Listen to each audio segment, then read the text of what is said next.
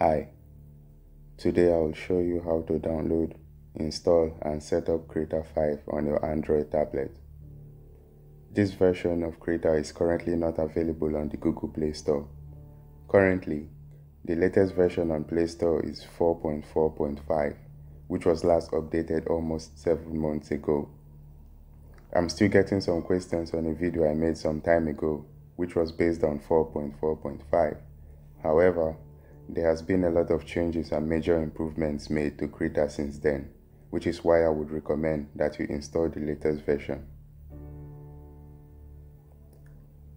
If you want to download the latest versions of Krita, you have two options. You can get the latest beta version or you can download and install the nightly builds. To download the latest beta, go to krita.org you will find announcement for the latest version under News. Click it. Scroll down to Android. Select one of the APK files to download based on your device's CPU. If you are not sure what kind of CPU your device is using, simply look up your device specifications on the web or install any application that will show you your hardware information. Check the type of CPU your device has and download the correct APK file. If you are using a Samsung Galaxy Tab S6 like me, download 64-bit ARM CPU APK file and install it. If you are interested in the nightly builds, head over to binaryfactory.kde.org. Scroll till you find the nightly builds for Krita and select the one that is based on your device's CPU. These builds are released on a daily basis. You can also see the most recent changes. You will need to be able to sign APK files. For that, you can use an application called APK Signer. Download the latest nightly build, then open APK Signer. Click Sign a file, then browse the location of the newly downloaded nightly build. Click it it will then ask you where you want to save the newly signed APK. Click Save and the application will be signed. Click the newly signed APK file and install it. After you have installed Krita, this is the screen you will be welcome to. If you look at the top, you can see that Krita finally has a proper menu bar compared to the huge white bar that took up a decent amount of space in Krita 4. On the right, you can enable news. It is recommended that you keep this enabled so that whenever there is a new version of Krita, you will see it since they currently aren't being added to the Play Store. When you first create a canvas, as you can see, there are so many elements taking up precious canvas space. We are going to set Krita up in such a way as to maximize our canvas space. First, from your menu bar, click Settings, Configure Krita. On the General tab under Cursor, you can set this up the way you like. Personally, I like to see the tool icon, so I will leave this enabled. Under Window, Multiple Document Mode, switch from tabs to sub-windows. This will remove the title bar from the canvas and instead add a maximize, minimize and expand button at the end of the menu bar. You may also tick use custom interface font to decrease the size of the font or whatever you feel comfortable with. Under tools, you might want to move tool options to the toolbar instead of having it as a docker. It will appear as an icon that you can click to open two options, thereby reducing the number of dockers you have on your screen. The remaining options are up to you. I would personally disable touch painting and canvas rotation since I paint with an S Pen and prefer not to rotate my canvas. Under miscellaneous, maximum brush size, you may leave this as 1000. In previous video, I recommended that you should reduce it to around 500 or less due to brush lag. However, brush performance has improved greatly in Krita 5. It is not perfect, but it is much better. If you are still experiencing brush lag, you may reduce the brush size and increase spacing. Under resources, do not make any changes here, otherwise Krita will not be able to load. I will show you how to access your resource folder at the end of the video. Go down to Canvas Input Settings. Click on Pan Canvas and disable all the options by switching their input to None. This is necessary because they will interfere with your painting and pop-up widget. If you want to be able to use S Pen button to call the pop-up widget, there is another device settings that you need to make sure is disabled due to the fact that it will interfere with the pop-up widget. On your Samsung device, go into Device Settings, Advanced Features, S Pen, and disable Open Air command with S Pen button. If you don't disable this, every time you click the S Pen button in order to call the pop-up widget, air command will also come up too. Note that the side panel also gives similar options as air command and may be used as an alternative in place of air command. Go back to Krita now and let's set up the S Pen button for pop-up widget. Under Show Pop-up widget, double click on Add Shortcut. From the drop down, select Mouse button. Under Input, double tap None.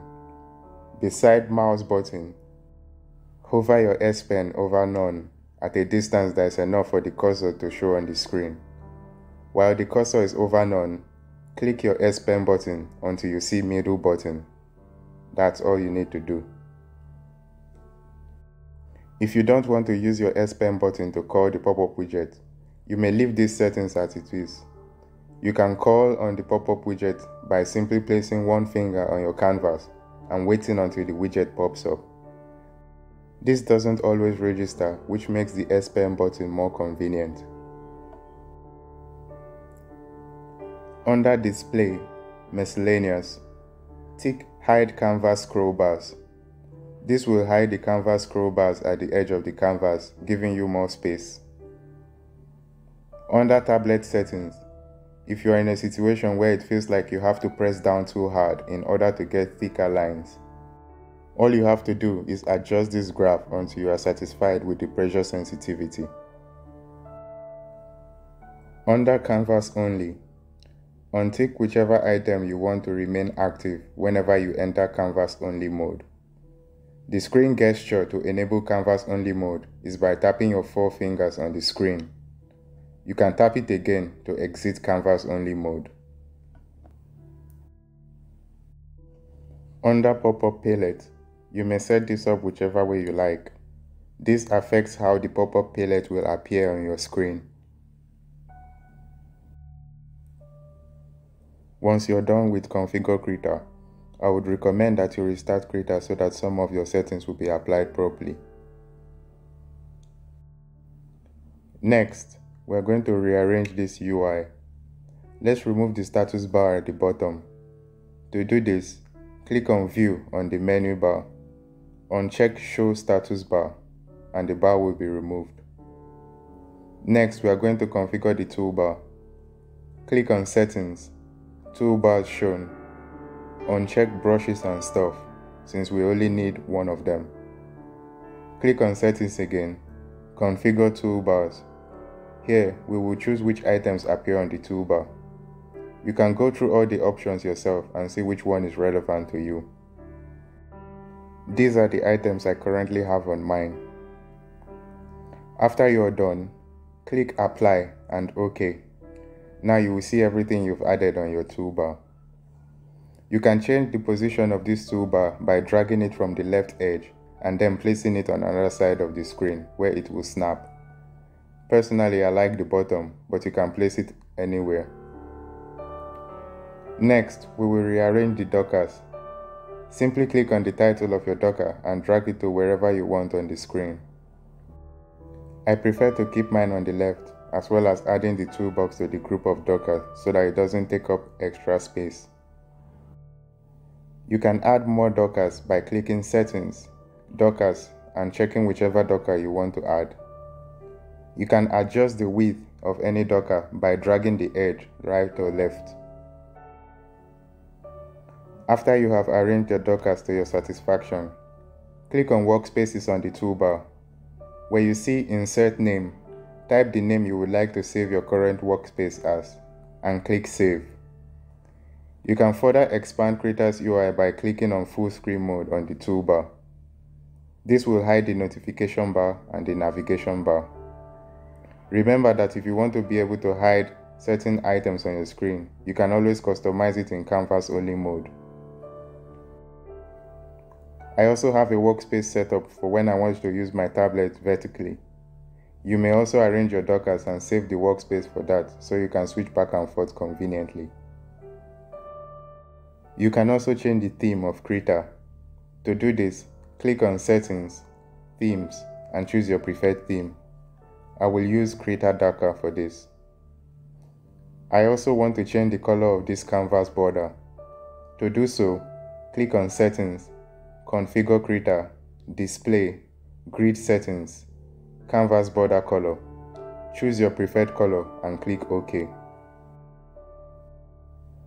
If you want to change these outdated minimize, expand and close icons on the menu bar, click on Settings, Styles and select Windows and you will notice some changes to the UI. Don't select Android or Krita will crash. To make layer thumbnails bigger, click on these three lines and move this bar back and forth until you are satisfied with the size. Krita now has a built-in recorder that records your canvas area whenever you draw on it. Unfortunately, exporting this recording is still not possible because there is no FFmpeg yet. You may still be able to get the recordings as images and use video editor to compile them into a video. First, you must change this recorder directory to another folder that you can actually access. Change these settings to whatever you are comfortable with and click record. After drawing, you can go to your file manager to the directory you set up for recording and you will find them there. To access your resource folder on Krita 5, you will need a third-party file manager because after the update to Android 11, you can no longer access the Android data folder from the default file manager. Once you've installed your third-party file manager, simply open Android data org.krita. There you will find your resource folder. If you have further questions regarding setting up your Krita, please leave them in the comments and I will try to respond as soon as possible. I'll also leave all the relevant links in the video description. I have made a backup of my resource folder, which I'll also upload in case you don't want to go through the entire process. You can just copy and replace the default folder that is already there. Thanks for watching. Bye.